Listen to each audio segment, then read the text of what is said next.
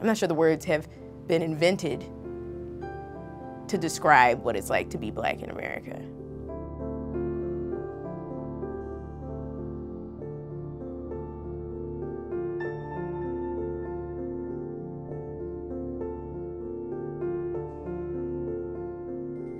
I used to think that I had a strategy, right? Is keep the voice calm, like be like, hey, I am now reaching for my wallet.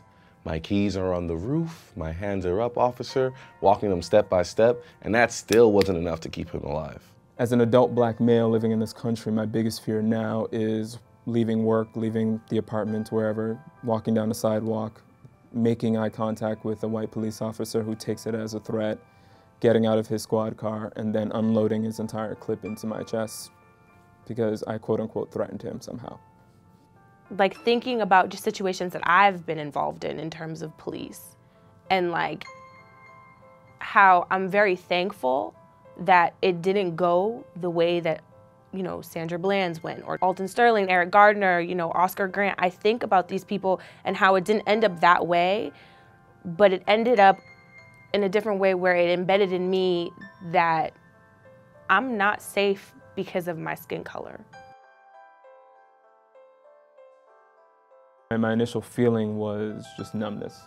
At some point, when there was a whole string of these occurrences happening, I started to become numb to it. And now I'm like numb to being numb. My initial reaction after hearing about the second one was just numb. Like, okay, again. And I think that's the saddest part is that I'm just numb to it. I feel uh, disassociated. Like it's this weird feeling where like I, I feel like I'm watching myself go through everything. Honestly, my first thought was like, this can't be real, so I didn't believe it. It was unbelievable in the fact that it wasn't unbelievable. It's, it's getting crazier and crazier that people are able to um, ignore it. When I first saw it, I, I don't know. I just started, uh, I was freaking out. I just started crying. I can't even describe how I'm feeling as being sad. It's more so angry and exhausted. It's just hard, it's, it's getting to the point where it's hard to even keep up because it's happening so frequently. How many times does this have to happen for like something else to happen? I don't know. I really don't know. Shit, do y'all? Because I really don't know. They think they can keep getting away with this because they are getting away with it. They are afraid of us. We're not given the benefit of the doubt because they assume that we're going to act a certain way. I think they look at dogs as people more than they look at black people as people. Absolutely, 100%. Because any emotion for a black male, happiness, sadness, you know, it's, it's almost too much uh, for the people around you. I feel like I have to put on a face. Like if I'm around my friends and if they say something that like could be like could be stepping on the toes of like offending me and then I would feel bad that I was offended.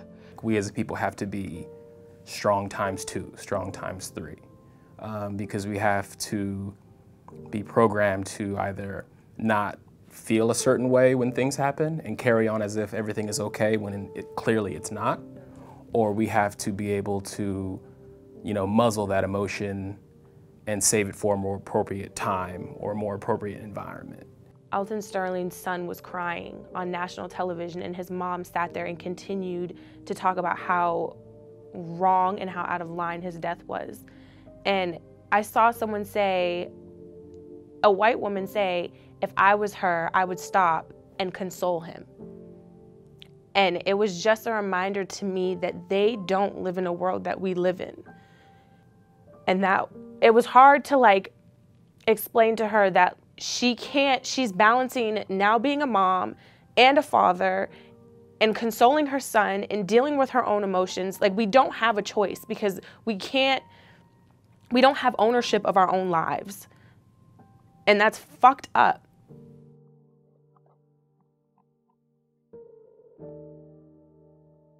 Selfish. They're thugs. They're cowards. You're inhumane.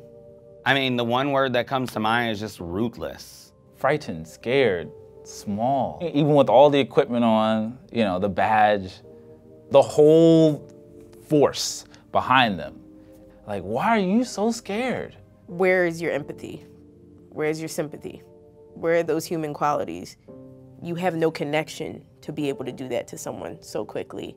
They are inhumane. I don't even consider them, I- they're not humans anymore as far as I'm concerned. Those are the ones who are not human. human beings have the potential to do so much great in this world. I just I feel like we have the potential to be so much greater and better and higher than what we are currently. Like if we could just come to a consensus, like as America, to just be like, this is really fucked up. And as white people, as Asians, as like Native Americans, as everybody, we can just come together and agree this is really fucked up. The way this country was built, it wasn't in our favor. It still isn't in our favor. Um, and it's not going to change until systematically, from like the very, very root, there's restructuring.